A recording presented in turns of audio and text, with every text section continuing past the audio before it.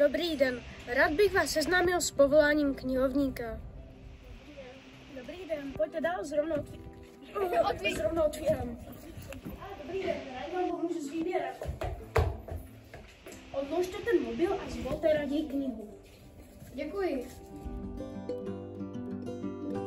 Práce dnešního knihovníka není vůbec lehká.